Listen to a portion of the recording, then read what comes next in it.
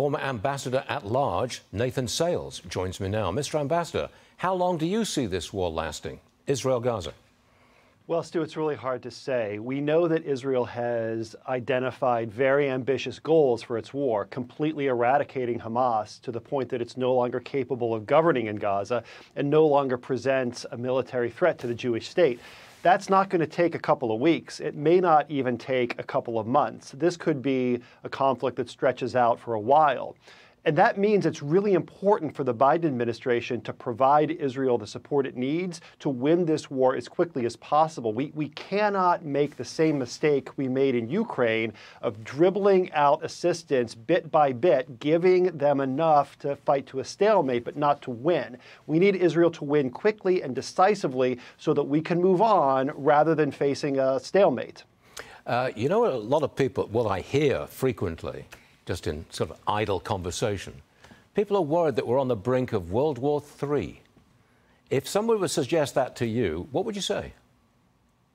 Well, Stu, I mean, we're looking at a level of geopolitical unrest that we haven't seen since before World War II. I mean, it feels like we're in the 1930s.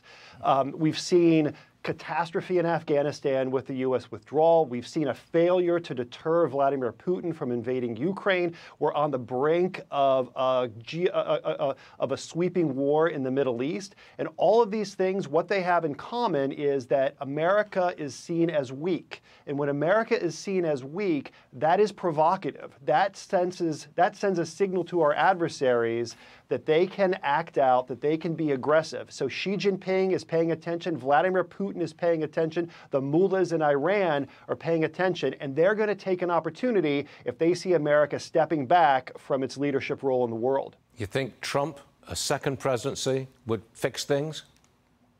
You know, I think anything would be an improvement over the current occupant of the White House. Um, we, have seen a cascading series of foreign policy failures going back to Afghanistan. And I have to say, um, you know, I don't see it getting better unless this administration is prepared to admit that its Iran policy yeah. was flawed from the beginning, giving billions of dollars in oil revenue to the mullahs. Where do you think that money's going? You know, it's not going to build bridges and tunnels in Tehran. It's it's going to fund terror proxies like Hamas, like Hezbollah.